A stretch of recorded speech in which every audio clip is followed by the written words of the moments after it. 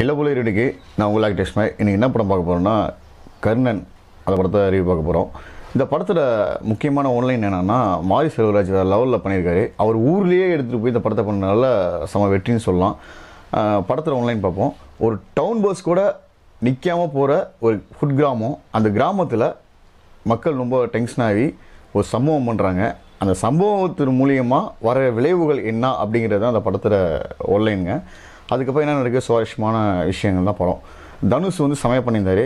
Music வந்து சந்தோஷ் நாராயண் வந்து லெவலில் படத்தை தூக்கி நிறுத்தலாம்னு சொல்லலாம். வேறு லெவலில் பண்ணியிருந்தாரு. இதில் காட்சி அமைக்கப்பட்ட காட்சி எல்லா காட்சியுமே நல்லா இருந்துச்சு. ஒரு போலீஸ் வந்து ஒரு வீட்டில் வந்து போகணும்னா ஒரு அதிர்ச்சியான ஒரு பாட்டி வந்து ஆகி போகிறது அந்த மாதிரி ஒரு விஷயங்கள் வச்சுருக்காங்க. அதே மாதிரி யோகி பாபு ஒரு ஸ்டேஷனில் பிரச்சனையாக இருக்கும்போது அங்கே ஒரு பட்டர்ஃப்ளை பறந்து வெளியே வருது.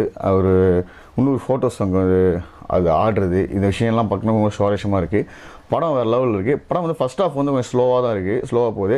அந்த இன்டோர் பிளாக் வந்து இந்த கழுதையில் கயிறை அவுக்குறது அதுக்கப்புறமா போகிறது எல்லாம் சூப்பராக இருக்குது தனுஷ் குதிரையில் வர சீனும் சரி சூப்பராக இருக்குது அந்த ஒரு சாமி வேஷம் போட்டு ஒரு பொம்மை அதெல்லாம் அதெல்லாம் பார்க்கும்போது ஒரு டிஃப்ரெண்ட்டாக இருக்குது ஆக மொத்தத்தில் அந்த படம் வந்து வேறு லெவலில் இருக்குது கண்டிப்பாக அந்த வந்து ஃபேமிலியோட போய் படம் பார்க்கலாம். படம் ஹிட்டு தனுஷ் ஆக்டிங் வந்து வேறு லெவலில் இருக்குது. தனுஷ் வந்து நல்லா பண்ணியிருக்காரு. தனுஷ் வந்து இவங்க கூட நான் ஏற்கனவே ஏற்கனவே ஒரு ரிவ்யூ போட்டிருப்பேன். ஆடியோ லான்ச் ரிவ்யூ அதுவே சொல்லியிருப்பேன். எது வந்து தனுஷ் வந்து இப்படி அப்படி இப்படி இல்லாமல் எல்லாம் காமனாக பர்ஃபெக்டாக இந்த படத்தை நடிச்சிருக்காங்க. வேறு லெவலில் பண்ணியிருக்காரு அடுத்த அடுத்த ஒரு ஸ்டேஜுக்கு அடுத்த லெவலுக்கு போகிறதுக்கு மாரி செல்வராஜுக்கு ஒரு படியாக இருக்கும் அப்படின்னு நினைக்கிறேன். கண்டிப்பாக இந்த ரிவ்யூ உங்களுக்கு பிடிச்சினா லைக் பண்ணுங்கள் ஷேர் பண்ணி கமெண்ட் பண்ணுங்கள் வில் பண்ணி பண்ணுங்கள் எல்லா போலும் இருக்கு நான் அடுத்த ரிவ்யூவில் உங்களுக்கு சந்திக்கிறேன். அது வரைக்கும் உங்க கூட விடைபெறும் உங்கள் ஆக்டர்ஸ் பாய்